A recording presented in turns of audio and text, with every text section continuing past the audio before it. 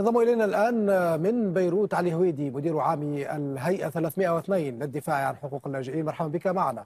أستاذ علي وأبدأ معك بالخبر الذي أوردناه منذ قليل يتعلق بتشكيل غوتيريش للجنة للتحقيق في إمكانية مشاركة آه، موظفي الأونروا في السابع من أكتوبر. إسرائيل التي تقول يدعو تحرنوت ويقول المسؤولون الإسرائيليون بطبيعة الحال هذه التصريحات معروفة بأنها تريد إنهاء وجود وكالة الأونروا هل ترضخ الأمم المتحدة هنا للإملاءات الإسرائيلية ولهذه الرغبة الإسرائيلية في إنهاء الأونروا لبداية هذا التحقيق. يعني طبعا هذه ليست طبعا هذه ليست المرة الأولى التي يجري فيها استهداف وكالة الأونروا استهداف وكالة الأونروا هي محل استهداف منهجي واستراتيجي من قبل سلطات الاحتلال الإسرائيلي وحتى الإدارة الأمريكية. ولكن بصراحة قرار يعني الأمين العام للأمم المتحدة غوتيريش بتشكيل هذه اللجنة يعني مثير للتساؤل والاستهجان على اعتبار أنه لماذا لم يتم تشكيل لجنة تحقيق في عملية الإبادة الجماعية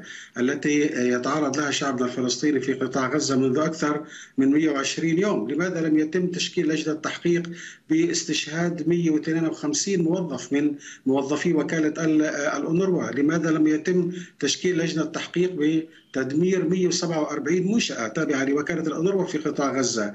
لماذا لم يتم تشكيل لجنة للتحقيق في آه، إخراج 18 يعني عيادة صحية عاملة في في قطاع غزة؟ لماذا لم يتم التحقيق في عملية استهداف حتى المساعدات الإنسانية التي تدخل قطاع غزة وآخرها استهداف هذه الشاحنة التي يعني تحدثتم عنها قبل قليل. إذا هذه بالفعل أنا أعتقد بأن هناك من يعني يدفع باتجاه تشكيل هذه اللجنة من خارج وكالة الأونروا وحتى من خارج وكالة يعني الأمم المتحدة نفسها. واضح تماما بأن الاستهداف هو استهداف لهذه الوكالة لما يعني لها من علاقة عضوية في قضية اللاجئين وحق نعم. العودة خاصة بأن يعني وزير خارجية بالفعل. قد رحب كيف بتشكيل هذه اللجنة. نعم. كيف سيؤثر إنهاء مهام الأونروا على ملف اللاجئين؟ لا يتعلق الأمر فقط بغزة يتعلق بخمسة أقاليم كاملة يتعلق بلاجئين في دول أخرى كيف سيتضررون من ذلك؟ وما تأثيره أيضا على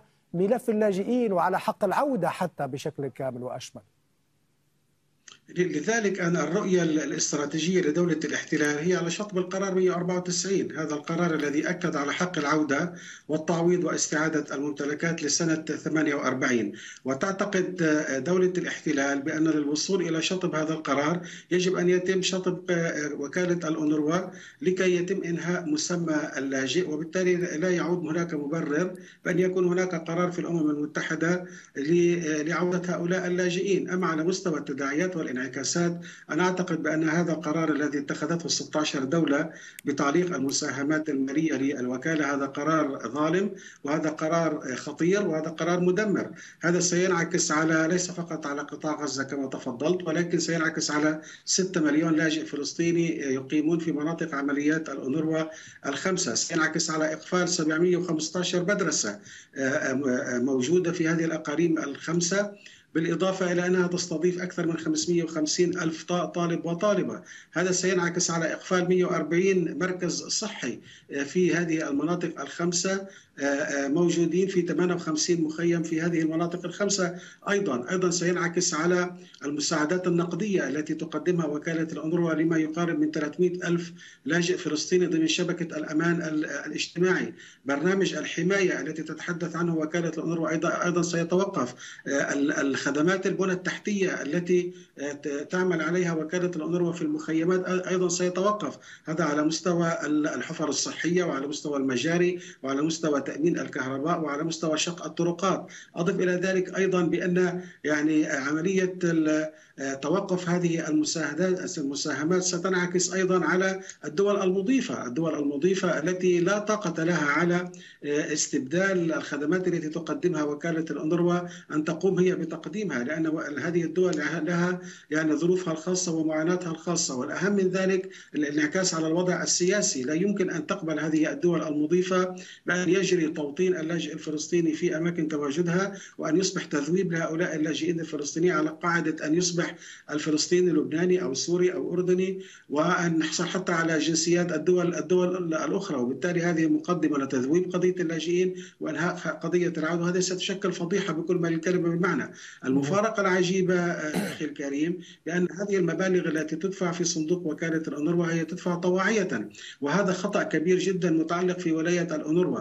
هذا القرار بأن يكون تكون المبالغ طواعية كان مبررا في العام 49 عندما تشكلت وكالة الأونروا كانت تحمل صفة مؤقت وعلى على أمل أن أن يستمر عمل وكالة الأونروا لمدة سنة واحدة فقط وبعد ذلك يتم إقفال هذه الوكالة وأن يعود اللاجئ الفلسطيني إلى بلده في فلسطين. ولكن الآن بعد مرور 74 سنة على تأسيس وكالة الأونروا وزيادة الاحتياجات وزيادة أعداد اللاجئين اذا يجب نعم. ان يتم التعديل في ولايه الأونروا لكي تصبح ميزانيتها ثابتة. نعم، طيب هناك دول في المقابل ترفع من ميزانيتها للأونروا تحدثنا في الخبر عن قطر التي أعلنت استعدادها لمواصلة دعم الأونروا أيضا إسبانيا والنرويج وربما دول أخرى. إلى أي مدى هذه المساعدات قد تنجح في إيجاد البديل للتمويل الذي قطعته الدول الأخرى على رأس الولايات المتحدة وهل ستنجح الأونروا أيضا في مواصلة مهامها؟ يعني أنا باعتقادي يعني عشنا هذه التجربة المريرة على مستوى العجز المالي لوكالة الأونروا في 2018 وفي ذلك الوقت واجهت وكالة الأونروا عجز بقيمة 200 مليون دولار تدخلت الدول الخليجية الأربعة طبعا بالإضافة إلى قطر الكويت والسعودية والإمارات ودفعت كل دولة 50 مليون دولار وتم تسكير العجز المالي.